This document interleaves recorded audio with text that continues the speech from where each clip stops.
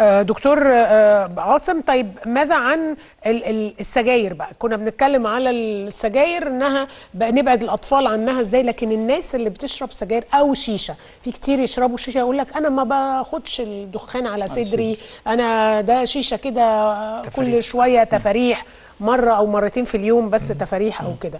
الشيشة وخطرها. آه، الشيشة هي زيها زي السجاير بالظبط زائد إن هي ناقل للعدوى.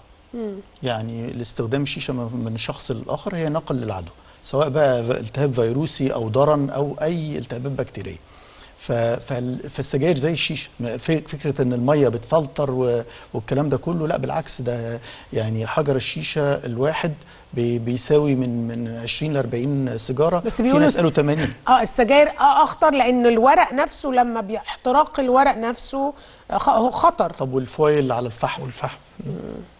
نواتج الحرق والفحم ف- نفسه. يعني ولا ودرجة الحرارة بتاعه الفحم تمام؟ وسواء ال- السجاير بقى الجديدة آه في ال- السجاير الجديدة بقى الجديدة، دي. كل واحد فاهم هو بس الفكرة إن السجاير الجديدة أقل في من فكرة التار بس هو فيها نيكوتين برضه.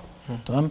وبرضه فيها يعني هم بي- بيقولوا إن هم شالوا مواد آه، مسببة للسرطان في السجاير الجديدة بس ما شالهمش كلهم. تمام؟ فبالتالي هي لسه برضه تسبب أمراض بس المشكلة يعني إحنا عشان تبدأ السجاير يتعرف مشاكلها قعدوا حوالي 85 سنة عشان إيه؟ أول حاجة تقول إن السجاير بت العادية دي التقليدية بتسبب أمراض.